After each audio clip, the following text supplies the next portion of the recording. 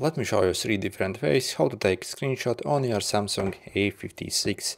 So the first way is we can take screenshot using the buttons. So all we do is press the power button and the volume down. And you see if I press a screenshot gets taken.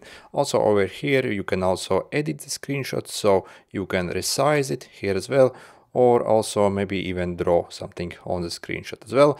And also you can easily share it with someone. So uh, maybe using like a email or whatsapp or whatever you want.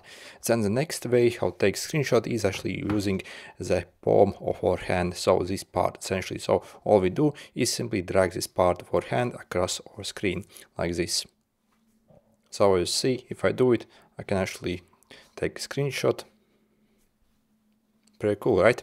And also, for example, if you want to take a whole page screenshot, so basically of whole website, also you can click this button over here. As you see, it actually like continues taking screenshot. So, and you at the end you have like very large, uh, basically like image of the whole web page, as you can see.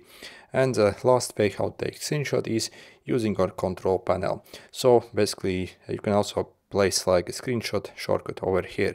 So uh, by default it's actually not here. We are going to click this pencil thing over here, click edit and find this screenshot, take screenshot and simply drag it somewhere. For example, let's say here, click done. And for example, if I want to take screenshot, I can simply go down and click this screenshot button over here. And as you see, a screenshot also gets taken. Good luck guys.